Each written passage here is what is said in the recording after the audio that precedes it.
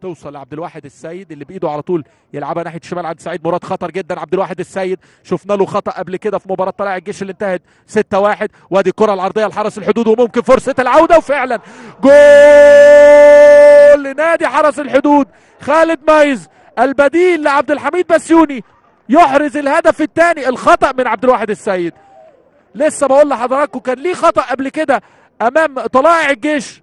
بيكرر الخطأ ولكن المرة دي بإيده بيلعب كرة لسعيد مراد غير متقنة وغير مبررة تتقطع والعرضية من محمود مبارك 10 على 10 عمل ال sprint ولحق الكره وخالد مايز يحط كره bend في الأرض يعني طالع حلو وشايف الكره حلو وسط اتنين من لاعبي مصر المقاصة يعمل ال bend ويحرز الهدف الثاني لنادي حرس الحدود في الدقيقة 69